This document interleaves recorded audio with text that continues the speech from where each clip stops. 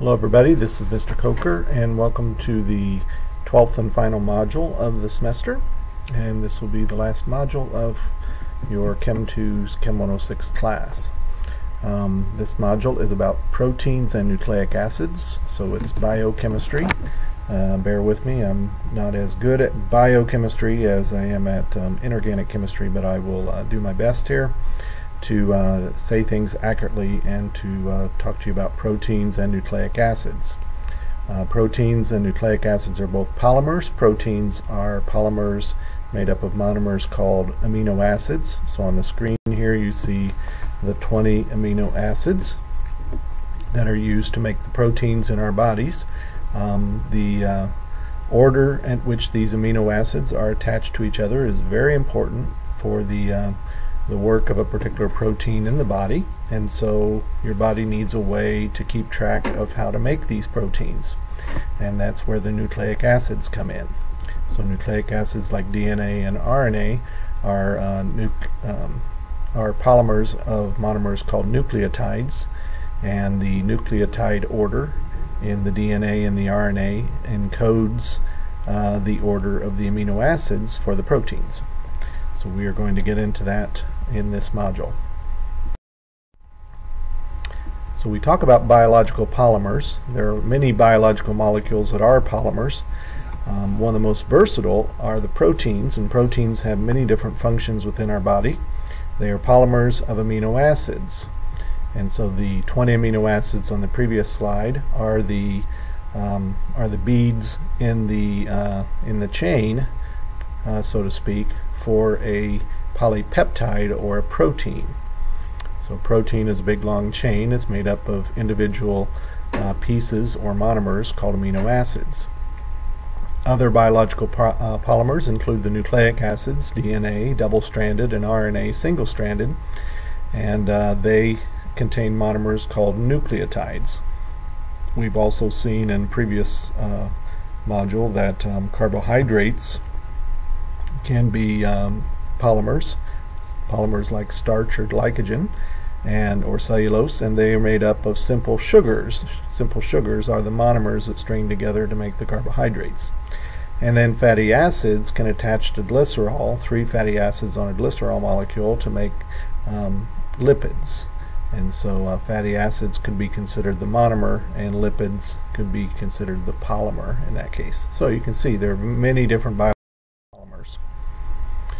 if we look at the functions of proteins, uh, proteins have many functions. Um, structural, enzymes, transport, motion, regulation, storage, defense, and these are some examples of um, various ways the proteins would be used for these uh, for these uses. Um, you might be careful on the homework and make sure that when you're doing the mastering chemistry you actually use the terminology for these functions that is used in the textbook.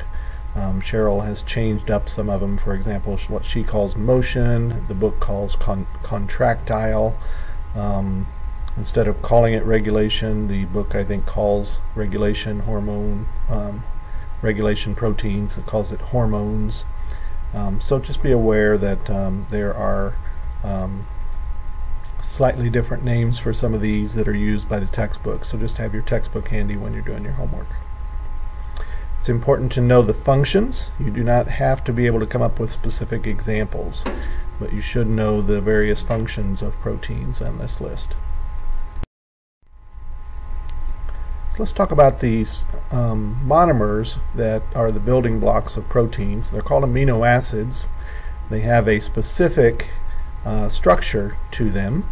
Um, and all the amino acids, all 20 of the amino acids, have the same basic parts. So if we start with a central carbon in the center of the amino acid, um, on one side it's going to have a carboxylic acid group. Remember carboxylic acids are C double bonded O OH, spelled COOH, C-O-O-H, uh, here. So that is always one part of an amino acid. On the other side of the amino acid, you're always going to have the amino group. That's why they call it amino acid, because you have the amine and you have the carboxylic acid on every uh, amino acid. The amine group will be NH2. Uh, so you have NH2 on one side and COOH on the other. You'll have a hydrogen attached to the central carbon and then you'll have various side chains. So the only part that is different among the 20 different amino acids is the side chain. So there are 20 different side chains that may be attached to the central carbon. And if you notice here, as long as the side chain isn't hydrogen, this should be a chiral uh, molecule because the carbon is attached to four different things. Some examples of amino acids. The simplest amino acid would be glycine because the side chain is simply a hydrogen. And so this is the only amino acid that is not chiral because it has two hydrogens attached to the central carbon instead of four different things. Another simple amino acid would be the one where the R side group is um, a methyl group, a CH3. That's called alanine. You don't have to know the specific names, but you should know that there are different side chains and that makes up the different amino acids. Uh, how many chiral carbons would you say are in alanine? So looking at this molecule, how many chiral carbons do you see? The answer is 1. The central carbon is attached to four different things, and that is the chiral carbon is the central carbon. Um, as you know, um, things that are chiral can be like left-handed and right-handed. Um, all the naturally occurring amino acids are in the L form.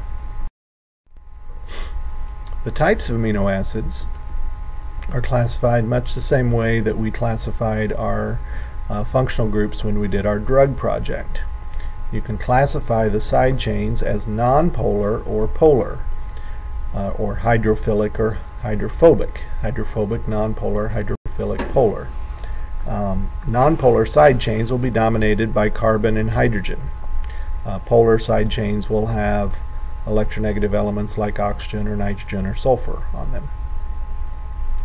Um, so this can affect the way that the amino acids are able to interact with each other when they're on the uh, protein chain. So in this particular example we have alanine as a nonpolar and serine as a polar um, based on the nature of their side chain. Uh, side chains can also be acidic or basic. If there's a carboxyl group, COOH, they'll be acidic, or if there's a basic group, NH2, um, amine, then they will be uh, basic. But those are the um, two kinds of side chains that you could have. Otherwise, if they don't have carboxyl for acidic or amine for basic, then they are neutral. Um, it's important to note here, if it's acidic or basic, it will definitely be hydrophilic. And acidic and basic are both polar, and so they're both hydrophilic. Um, now, there's some uh, interesting things in the way that the uh, amino acids are drawn on this particular slide that's different from the amino acids that you saw on the previous slide. You may have picked up on it. It's the charges and the position of the hydrogen. Um, if we uh, focus on the blue box for alanine, uh, in the previous slides we would have seen alanine with NH2 on the left and COOH on the right.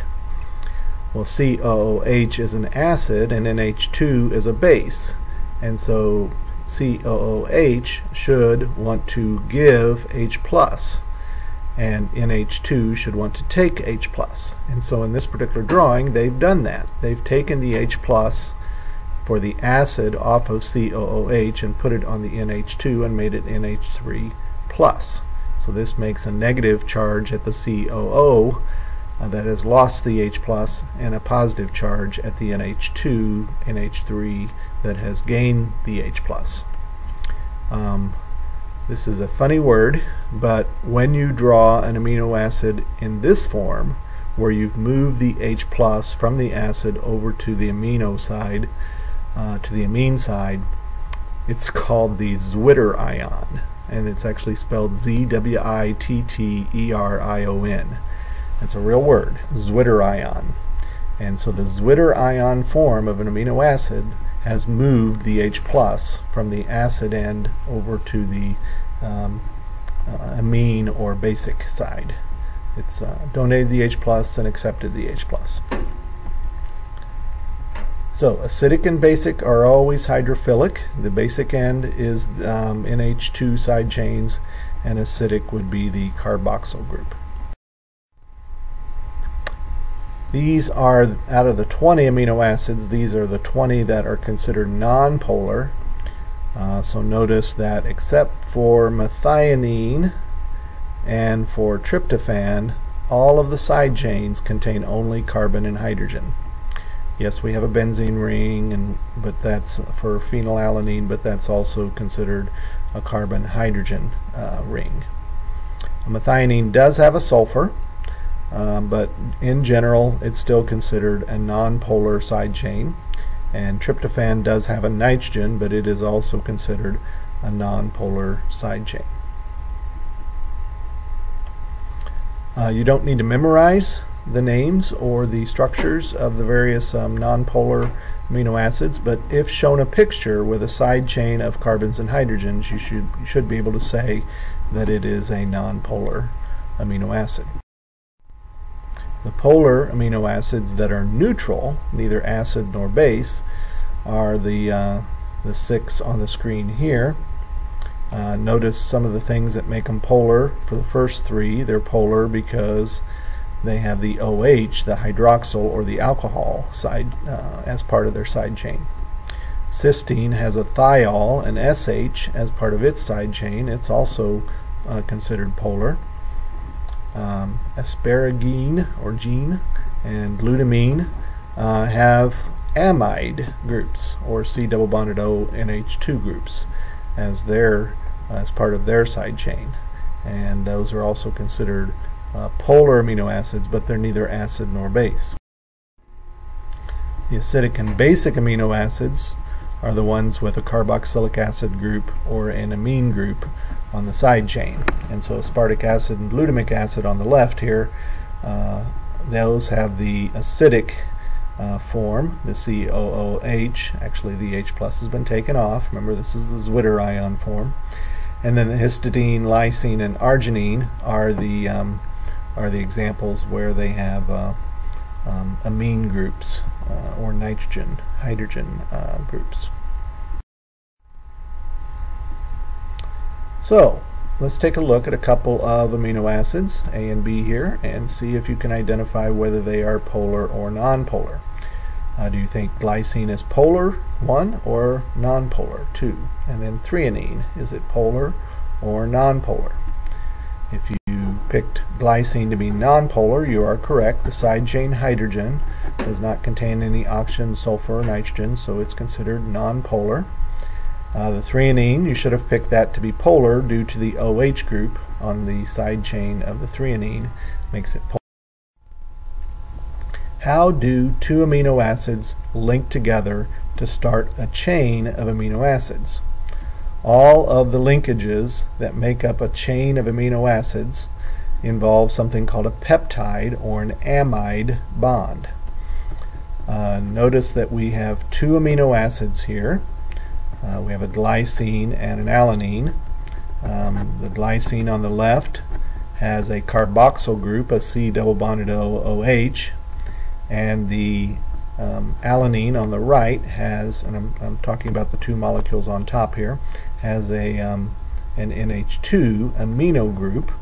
Course, they both have amino and carboxyl groups, but if you line up the carboxyl group of one with the amine group of the other, by removing water, which consists of the OH on the carboxyl group and the hydrogen from the amine group, by removing water, we can create a linkage with the C double bonded O from the left um, amino acid and the NH from the right amino acid linking to each other. This is very similar to um, making an ester out of an alcohol and a carboxylic acid group. Um, and you end up with something called a peptide bond or an amide bond with a C double bonded O NH linking the two amino acids to each other. So you're using the carboxyl group that every amino acid has with the amine group that every amino acid has. You're using one from one and one from the other to make a peptide bond. Um, also, water is formed by this reaction, and so it's called a dehydration. We're taking out water, we're dehydrating, we're taking out water to make this reaction work. Now, you don't just put two together. You can put these together in chains that are hundreds or thousands of amino acids long uh, because you still have on the right um, carboxyls and on the left amine groups. Even after linking two together, you, you can still continue the chain by using the carboxyl on the right and the amine on the left. You can keep growing the chain longer. There are four levels to protein structure and you should learn the four levels of protein structure. Um, the first level of protein structure is called the primary structure and that is the actual sequence or order to which the amino acids are put together. For example, if you have glycine followed by alanine followed by threonine, gly, lys, 3, then that order is considered the primary structure to the amino acid. Um, since every amino acid has the same basic backbone with a C double bonded O NH um, occurring everywhere two amino acids linked together, uh, the C double bonded O NH portion of the backbone is in fact polar and so you can get the backbone of the amino acid chain linking to itself, doubling back on itself and linking up using the polarity of those amide bonds. Um, if that happens, that is called the secondary structure. Uh, so using hydrogen bonding between different parts of the backbone is called secondary structure. Tertiary structure is when you use uh, interactions like hydrogen bonding or other kinds of uh, maybe ion-ion attractions or other kinds of interactions between side chains. So if you're using the R groups of the amino acids on the in the chain to cause the chain to fold and and uh, connect to itself, um, then that's called tertiary structure. For example, perms and hair use the tertiary structure, use the side chains to get things to, to uh, attract each other. Then finally, the quaternary structure is the fourth level of protein structure, and it's actually when you take more than one um, polymer chain of amino acids and you allow them to interact with each other. And so instead of one single chain interacting with itself, maybe we have two chains that um, fold together and then they somehow have a way of which they connect to each other and that's called quaternary structure. Uh, for this class, you do not need to learn the two main kinds of secondary structure called the alpha helix and the beta pleated sheet or any kind of specifics besides what's currently here on this um, uh, slide. You should know what primary is, secondary, tertiary, and quaternary mean. Um, because secondary, tertiary, and quaternary uh, protein structures are weak intermolecular type interactions. They aren't covalent bonds. They're things like hydrogen bonding or dipole-dipole attractions.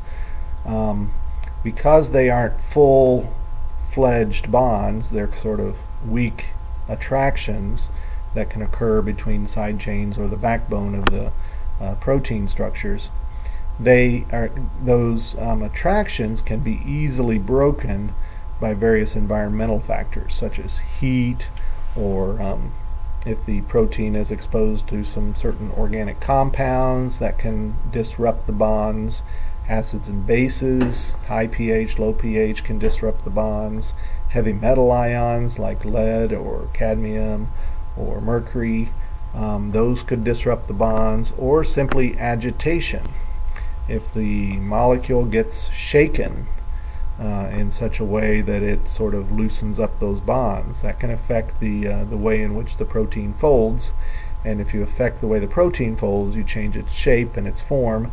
If you change its form, you can affect its function. So this is important um, that we realize that proteins are fairly fragile and that they, they're, the way in which they interact with themselves and with each other um, involve these rather weak attractive forces. And if you put a protein in just in too um, radical of a uh, chemical or physical environment, you can um, you can definitely uh, uh, disrupt the bonds. For example, cooking an egg involves denaturing the proteins in the egg yolk and the uh, egg whites.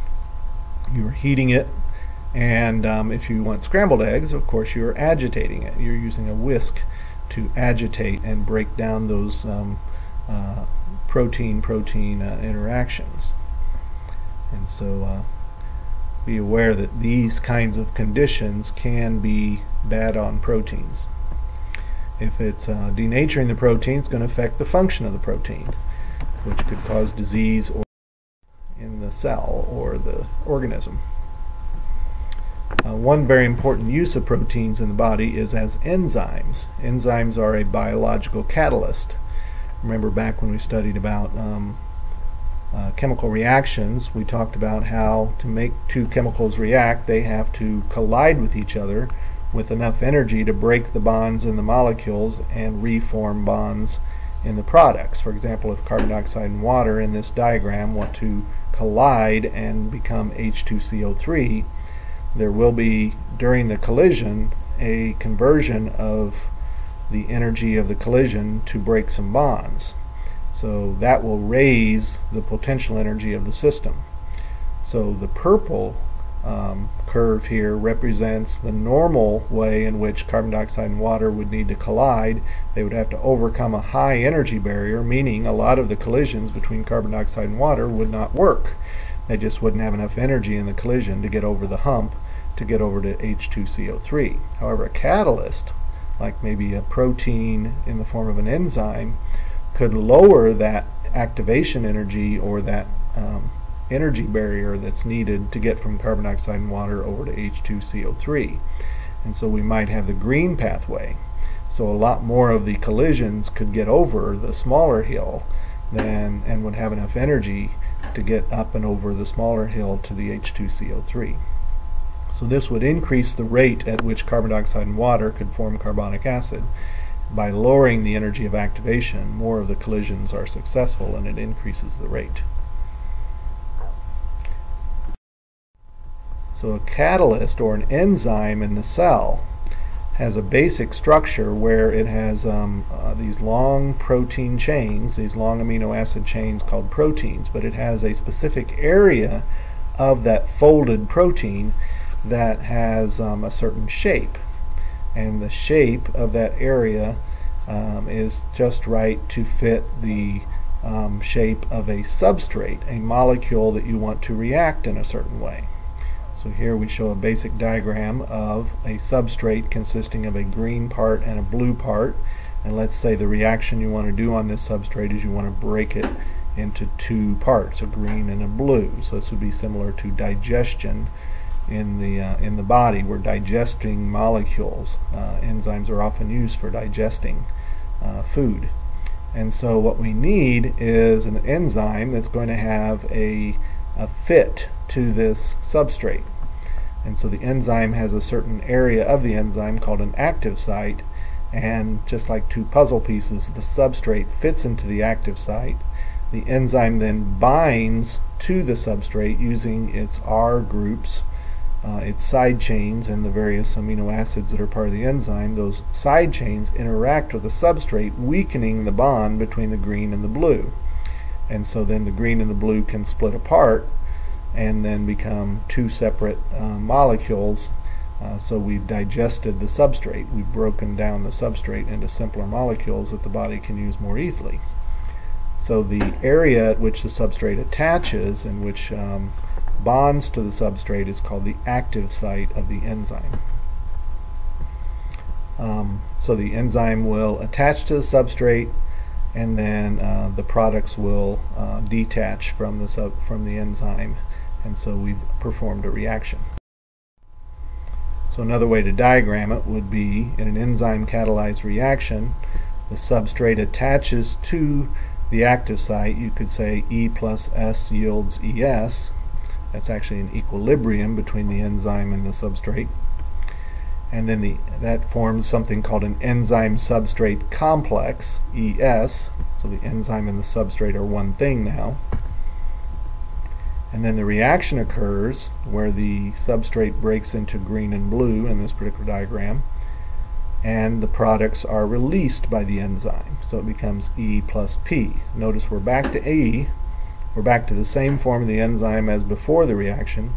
So the enzyme is not used up. It can be used over and over again. It's a catalyst. So, since enzymes are uh, proteins, they can be denatured by various um, environmental conditions and so enzymes need to work over a very narrow range of conditions of pH and temperature. Also the substrate concentration needs to be in a certain range and the enzyme concentration needs to be in a certain range in order to get the proper rate of reaction that the cell needs um, in order to function. One of the things that can affect the ability of an enzyme to work is something called uh, inhibition. So if there are molecules around that can inhibit or slow down the work of the enzyme, uh, you can have an inhibitor. Um, and one kind of inhibitor is called a competitive inhibitor. A competitive inhibitor mimics or tries to match the shape of the substrate. And so here we see the orange substrate and the purple inhibitor. Notice they have a similar shape to them at, at the part of the molecule that attaches to the enzyme. And so instead of the substrate attaching to the enzyme, if the inhibitor is around, it will attach to the enzyme. And as a, as a result, it blocks the substrate from being able to attach to the enzyme. When the inhibitor is on the enzyme, the substrate cannot attach. Uh, one way to, um, to look for whether or not this is happening or not is to increase the substrate concentration, which will increase its ability to compete with the inhibitor for the enzyme. So if you increase the substrate concentration and you end up getting more reactions occurring, that's telling you that you have a competitive inhibitor um, that is um, that is blocking your enzyme from being able to work. A second way of inhibition is something called a non-competitive inhibitor. A non-competitive inhibitor does not look like the substrate. In fact, has a different shape and it doesn't even bind to the active site. It would bind to another place on the enzyme. But when it binds to that place on the enzyme, it changes the shape of the enzyme and changes the shape of the uh, active site. By changing the shape of the active site, we've now made the active site no longer compatible with the substrate and so it distorts the enzyme in such a way that the substrate can no longer attach. This is called non-competitive inhibi inhibition and increasing the concentration of the substrate does not help because you're not competing for the same place on the enzyme. The substrate is attaching to the active site, the non-competitive inhibitor is attaching elsewhere. And so increasing concentration of the substrate does not affect the rate if you have non-competitive inhibition. Now some things you don't need to know about uh, proteins are uh, anything in section 16.8, uh, things about naming peptides and naming enzymes you do not need to know. Moving on to chapter 17 on nucleic acids like RNA and DNA. These are molecules that store information for cellular growth and reproduction. Uh, DNA, deoxyribonucleic acid, and RNA, ribonucleic acid, are both large molecules. They're long chains or polymers, and they are chains of monomers. The monomers are called nucleotides. A nucleotide has three parts to it, and this would be true for a DNA nucleotide and also an RNA nucleotide. In fact, they have many similar um, nucleotides that they use. Um, in the center of the nucleotide you have a pentose sugar or a 5 carbon sugar. Notice the numbers on the yellow sugar 1, 2, 3, 4, and 5. That's the 5 carbon sugar. Um, you will also have a nitrogen containing base. Uh, these differ from one nucleotide to another and so it's the base that determines the identity of your nucleotide, just like the R side chain determine the identity of an amino acid, the base, the nitrogenous contain, um, base or the nitrogen containing base determines the identity of the um, nucleotide. And then all the nucleotides will contain a PO4, which is a phosphate group. So you have a phosphate attached to a pentose sugar attached to a nitrogenous base. These make up the various uh, nucleotides. There are five main nucleotides uh, used by DNA and RNA. Uh, three of them are called pyrimidines. There is a cytosine, a thymine, and a uracil. The cytosine and thymine are used for DNA. Uh, cytosine is also used for RNA, but uracil is used only in RNA and thymine is used only in DNA. Notice uracil and thymine are almost identical. Thymine has an extra CH3, but uh, they basically perform the same function as each other, but thymine does it in DNA and uracil does it in RNA. And then you have your purines. Uh, the purines are adenine and guanine. Uh, these are used both in DNA and RNA. And so uh, DNA and RNA both have adenine and guanine. These names are usually shortened down to C, T, U, A, and G.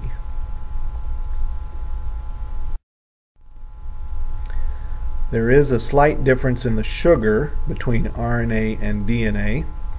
Um, RNA is, um, uses a sugar called ribose, and DNA uses one called deoxyribose.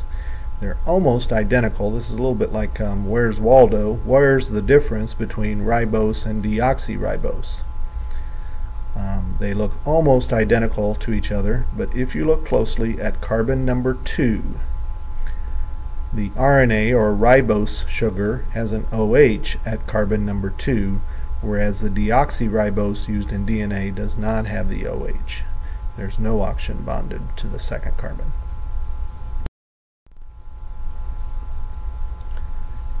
If you, um, if you want to make a polymer of nucleotides, in other words, you want to make a nucleic acid like DNA or RNA, um, then you're going to need to order your, nu your nucleotides in a certain order called the primary structure, similar to amino acid order being primary structure of proteins.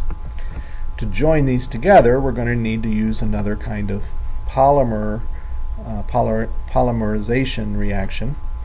Um, and we're going to need to make some kind of bond between these nucleotides. The name of the bond between nucleotides is called a phosphodiester bond.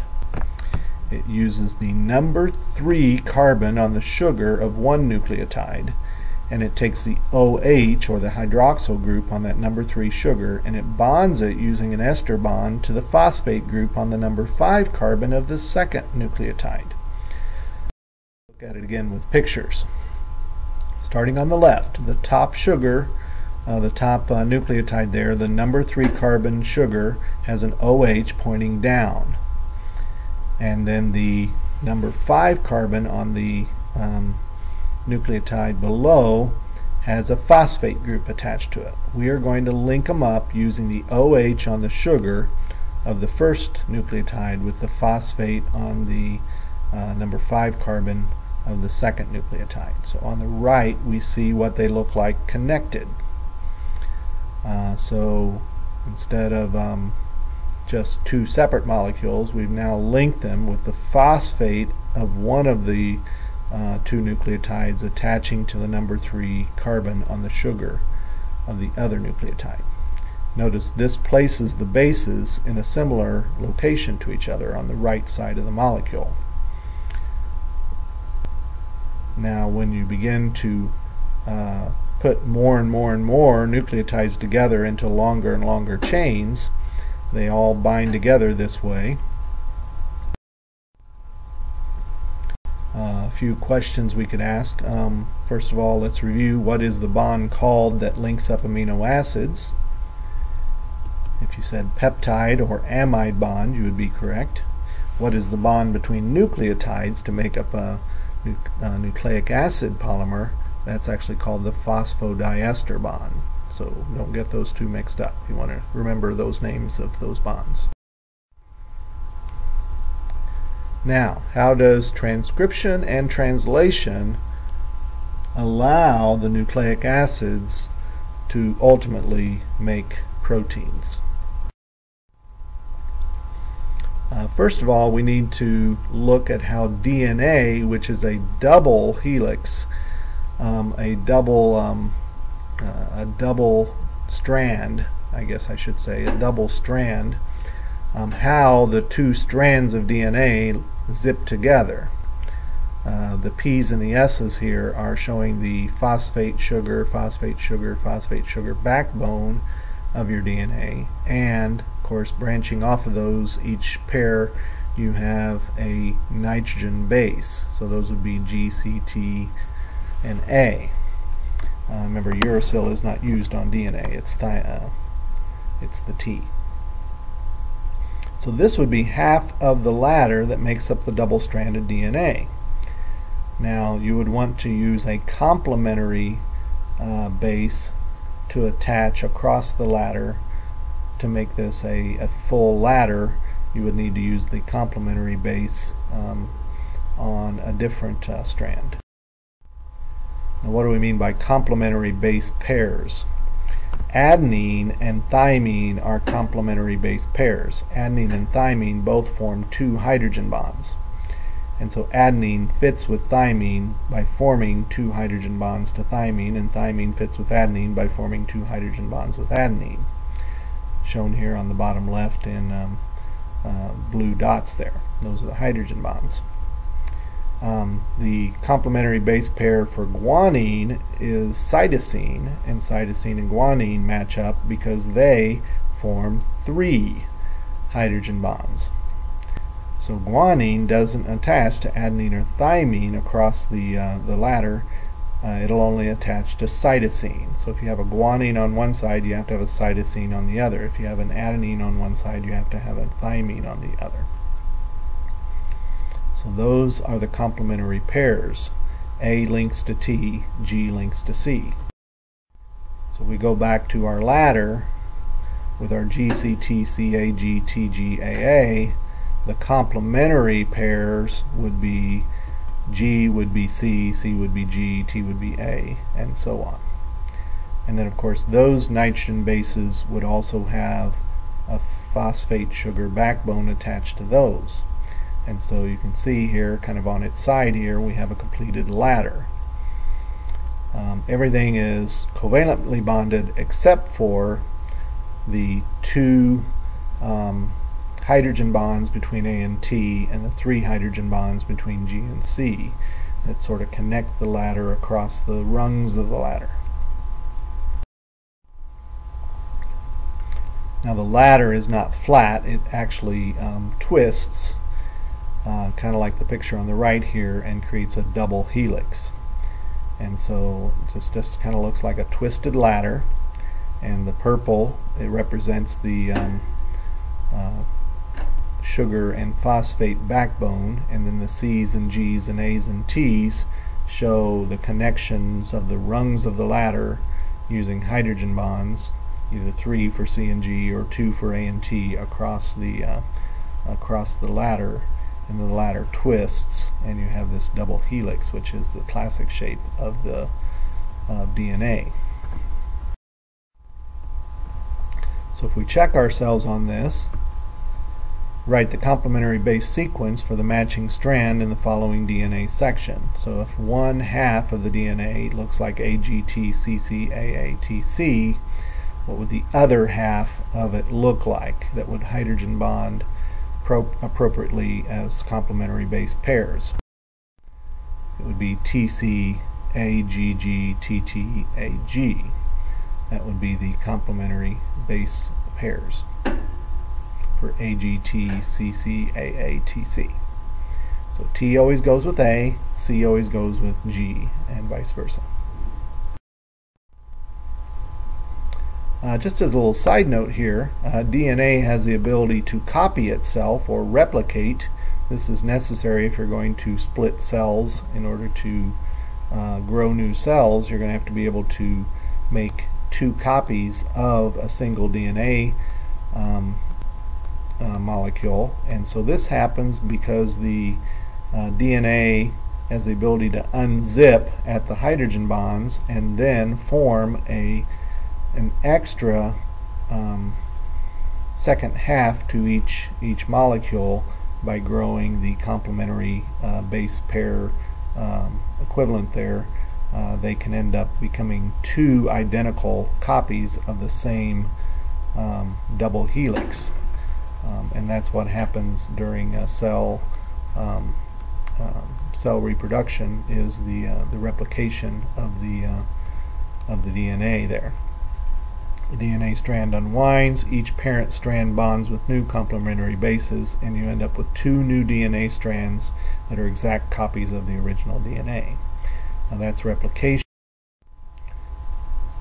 Um, why do we need all this DNA? Well, your body um, has various proteins, and the coding for those proteins needs to be encoded in that DNA your human genome has about 20 to 25,000 different genes and each gene is going to code for either one or a small group of similar proteins. The gene is going to have all the information required to make the protein uh, encoded in the order in the primary structure of its uh, the order of its nucleotides. So the order of the nucleotides is important because it is that order that is the code as to how to make a, a particular protein. Uh, the basic um, foundation of turning DNA code into protein is that the information in the DNA code gets transcripted to messenger RNA, mRNA. Um, this is necessary because DNA cannot leave the cell nucleus. DNA cannot pass through the nuclear membrane in the cell nucleus. Uh, proteins are made in the cytoplasm. And so how does how do we take the message from the DNA to the proteins? We use messenger RNA. And so the double-stranded DNA gets copied onto single-stranded messenger RNA, which leaves the nuclear membrane, leaves through the nuclear membrane, goes out into the cytoplasm, finds the ribosomes, where the ribosomes will read the information on the messenger RNA and translate it into the order of amino acids that need to be to make the protein. So RNA is transmitting information from the DNA to the cytoplasm to make the proteins. There are several types of RNA. The messenger RNA is what's carrying the genetic information from the DNA to the ribosomes. Transfer, or tRNA, is bringing amino acids to the ribosome to make the protein. So there's 20 different amino acids, so there's 20 different transfer RNA types.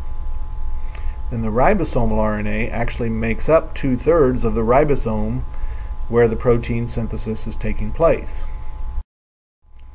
So the three types are M, T, and R RNA. Now if we start with um, getting the information off the DNA and onto the messenger RNA, you'll have a section of the DNA that unwinds to expose um, the order of the DNA bases. These become a template. The messenger RNA will be synthesized. It will not copy the template. It'll actually use complementary base pairing. So if the template has a, um, a T, um, then the uh, the messenger RNA will have an A. If the messenger RNA has an A, or the DNA has an A, the messenger RNA will actually use U instead of T. So that's the only difference, is instead of translating from A to T, uh, messenger RNA translates an A to make a U on the messenger RNA chain.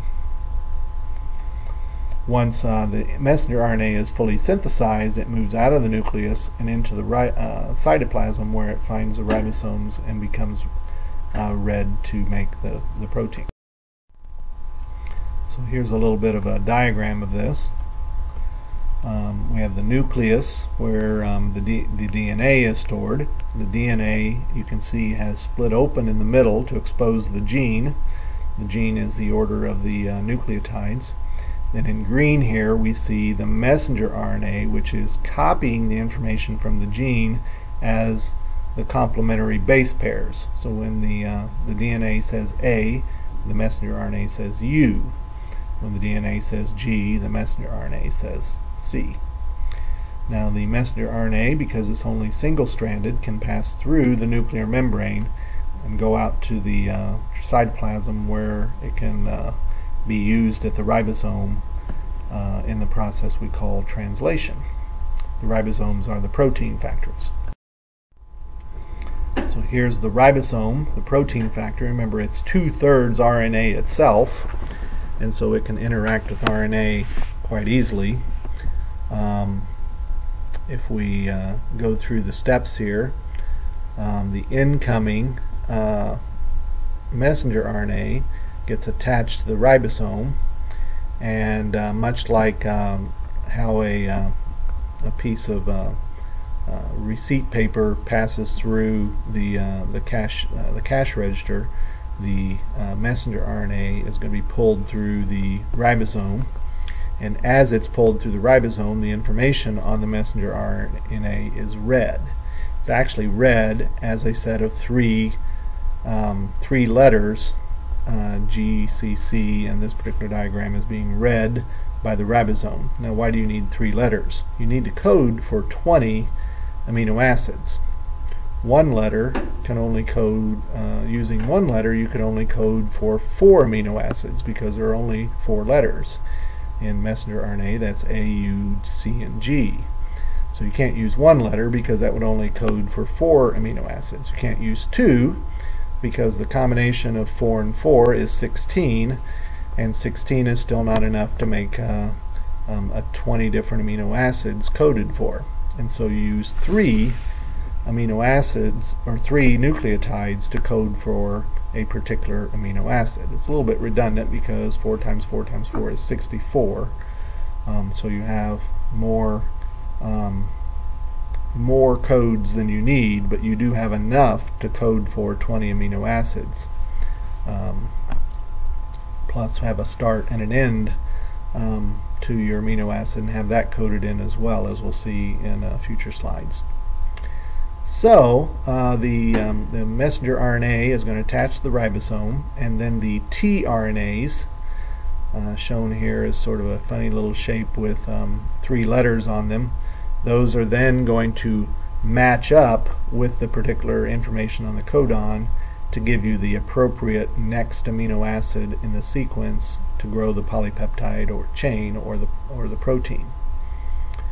Um, so as the messenger RNA moves through the ribosome, then each new set of three letters gets read and the next appropriate amino acid gets added to the protein chain. So it's a very uh, elegant process here.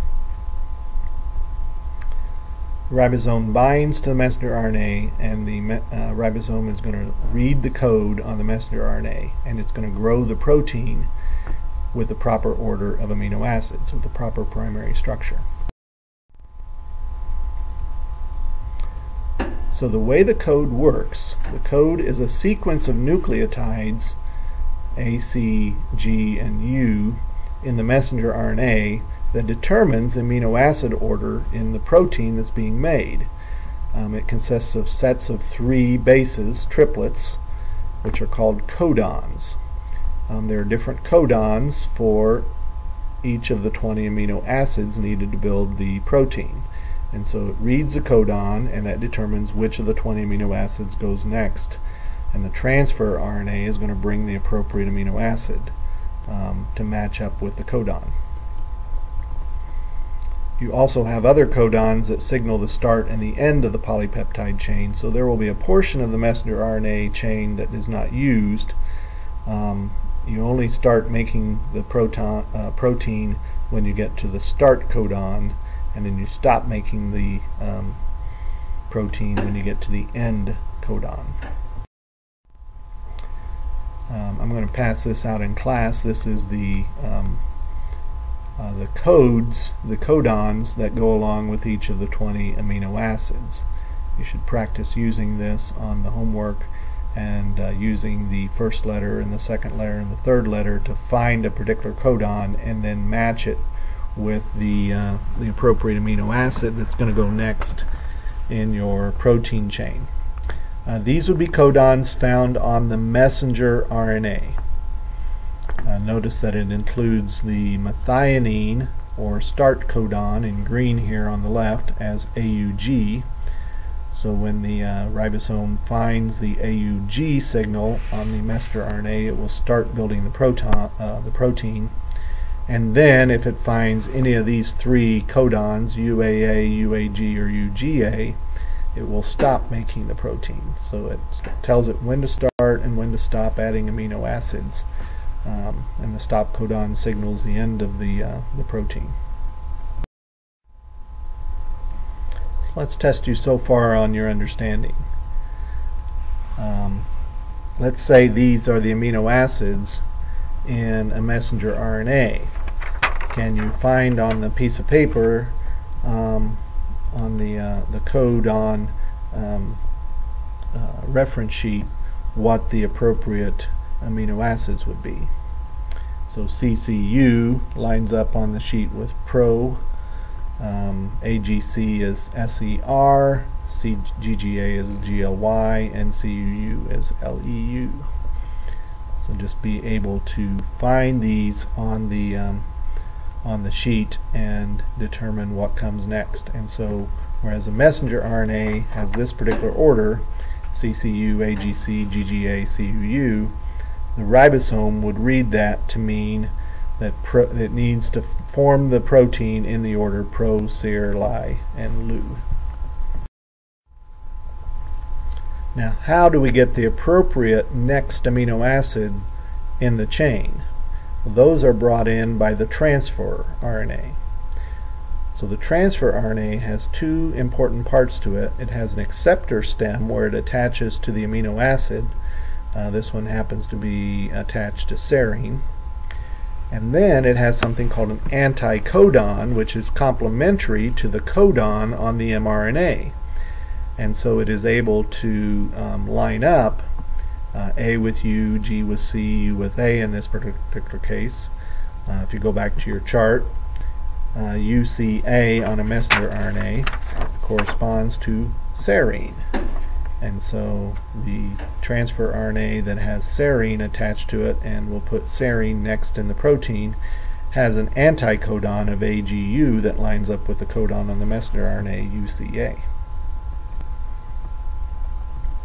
So each tRNA has a triplet called an anticodon that complements the codon on the messenger RNA and it bonds to a specific amino acid at the acceptor stem and brings the appropriate amino acid next in line to uh, form the protein chain. So we call this translation when uh, you take the information on the messenger RNA and you grow the protein. So the messenger RNA attaches to the ribosome. The start codon is going to bind a methionine um, to start out the amino acid. You'll tRNA with methionine will come in. Then the second codon after the start codon is going to be the next amino acid and so on and so on. And you'll keep growing your protein chain longer and longer until you reach the stop codon. And once you get to the stop codon, um, the formation of peptide bonds between amino acids will stop. Um, after all the amino acids are linked, you reach that stop codon, which is either UGA, UAA, or UAG. And since there is no transfer RNA that um, has the anticodon to match up with the stop codon, you can't add any more um, amino acids. And that breaks the chain, it clips off the chain, and then the polypeptide is going to be broken free from the ribosome, and then it can fold up and form the protein it needs to be, and then it can be in the cell. So a summary of translation is the messenger RNA attaching to the ribosome, the tRNA bonding to the specific amino acids, and attaching to the codons on, using the anticodon attaches to the codons on the messenger RNA. Then peptide bonds forming between the amino acid and the uh, carboxylic acid, uh, the amine group and the carboxylic acid, and making the peptide bonds in the peptide chain. And then the ribosome shifts to the next codon, and it keeps adding more and more um, amino acids to the uh, to the peptide chain and then it reaches the stop codon and it stops. polypeptide chain detaches and it's ready to function as an active protein. You've made a protein using DNA and messenger RNA and tRNA and ribosomal RNA. So let's take it from beginning to end. Let's say that this is a three codon code on some DNA. The DNA would unzip and grow some messenger RNA, and what would its sequence be? Well, GAA, CCC, TTT would end up being CUU, notice not T, but U on messenger RNA, CUU, GGG, And so the anticodons on the tRNAs would be GAA would be the anticodon for CUU, CCC for GGG, and UUU for AAA. So then the amino acid order in the peptide, based on our chart, remember you don't use the anticodons, you use the codons on the mRNA to determine what the amino acid order is. For CUU, that would be LEU. For GGG, that would be GLY. And for AAA, that would be LYS.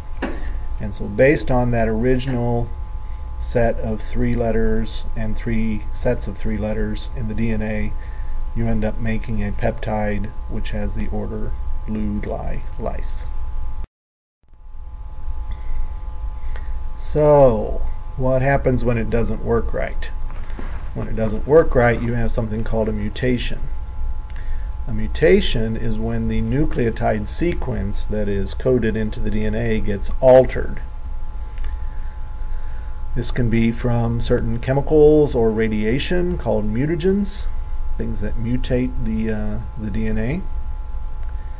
And what it can do is it can cause misspellings in the DNA, which can cause misspellings in the messenger RNA. And you can end up with some incorrect codons um, so you get incorrect information, misspelled information um, being uh, taken to the ribosomes. This can make end up making a protein that doesn't have all the correct amino acids and as a result it may not have the right shape and may not have the right function. So you might end up with a defective protein or enzyme, um, protein enzyme, and then that can affect the ability of the cell to uh, uh, thrive or survive. These are called genetic diseases when you have um, uh, incorrect spellings in your DNA and RNA.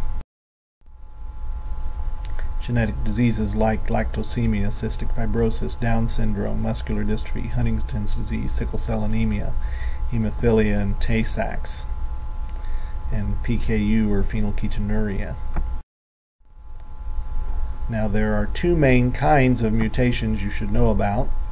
To illustrate these mutations, we're going to uh, change from A's and C's and T's and G's and U's to um, actual letters, uh, thinking of it like spelling here. These are three-letter words, and they give a certain amount of information.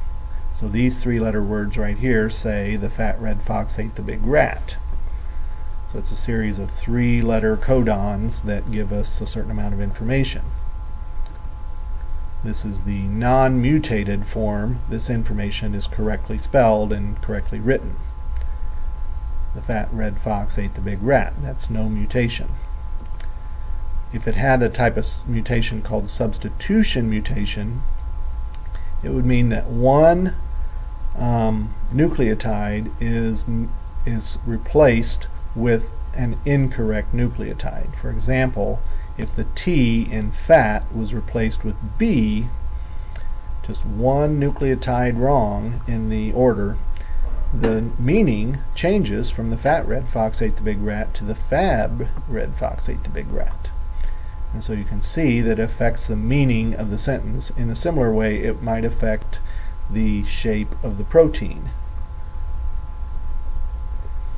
A more serious kind of mutation is called frame shift mutation. In frame shift mutation, a particular um, uh, nucleotide is lost, and so it gets skipped over or it's lost from the order of nucleotides. This can drastically alter the protein and maybe make the protein so it will not work at all. Maybe it doesn't. Maybe with substitution mutation the protein works poorly, but with frameshift mutation the protein may not work at all. For example, if you take out the T, everything shifts over one, and instead of the fat red fox ate the big rat, it becomes the far edif oxa tet heb iger at, which is a very different meaning. Um, in fact, it doesn't mean anything.